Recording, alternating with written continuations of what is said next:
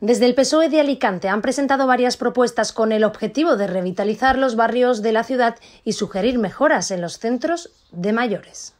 Vamos a visitar todos los centros sociales, los centros de mayores, como ya hemos empezado, a explicar a la gente mayor eh, cómo vamos a ayudar a superar sus dificultades de brecha digital, de acceso a la administración electrónica, ayudar a crear medios suficientes en todos los centros sociales para que, para que las personas mayores puedan superar todas las dificultades que están encontrando hasta ahora.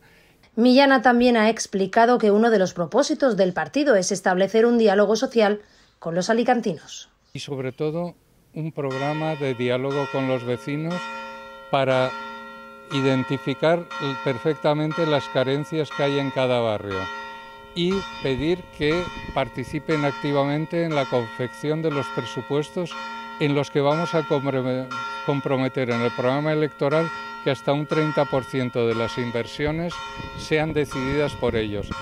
Mientras que la concejal del PSOE en Alicante, Trini Amorós, ha destacado la unidad del Partido Socialista. Yo creo que el 97% de apoyo a la dirección local por parte de la agrupación municipal socialista eh, nos convierte en el partido posiblemente más fuerte de todo Alicante, más unido y que salimos con todas las ganas y toda la ilusión esta nueva dirección.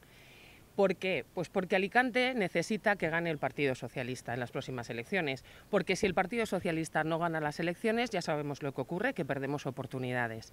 Tanto Millana como Amoros han asegurado que el objetivo del Partido Socialista es ganar las elecciones locales.